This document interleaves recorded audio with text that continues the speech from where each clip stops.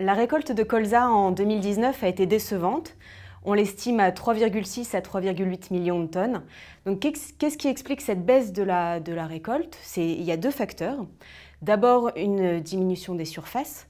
Euh, les surfaces ont, diminué du fait de la sécheresse de l'année dernière qui a, gêné les semis. Et puis un, un désamour des producteurs euh, euh, lié aux, difficultés techniques de, cette culture.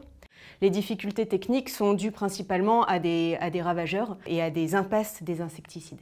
Donc au niveau européen, il y a également une baisse de la production qui est due à la baisse de production chez, deux, chez les deux autres producteurs importants. L'Allemagne d'abord, euh, dont les surfaces ont diminué, elles sont aujourd'hui à leur plus bas niveau depuis, depuis 20 ans.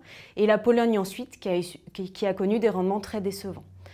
Euh, donc on, va être obligé au niveau européen d'importer, euh, d'importer du colza, mais d'importer également du canola euh, pour, pallier à ce manque de production. Parallèlement à ça, on a des cours qui sont haussiers. Euh, donc on a, a, un cours qui s'est majoré de 15 euros la tonne et qui a atteint des niveaux de 388 euros la tonne sur le matif à échéance 2020. L'évolution de ce marché est difficile à appréhender parce qu'on a à la fois des facteurs qui sont haussiers, donc euh, la faible production, mais également la parité euro-dollar qui est avantageuse pour le, pour le marché européen. Donc on a par contre des facteurs baissiers avec des produits qui viennent remplacer l'huile de colza euh, européenne et qui sont plus concurrentiels.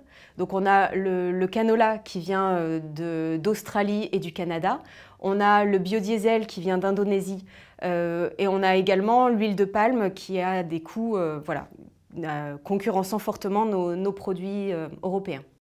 viennent compliquer encore à cela la, la hum, fièvre porcine et les tensions internationales qui, qui compliquent beaucoup la lecture du marché dans les mois à venir.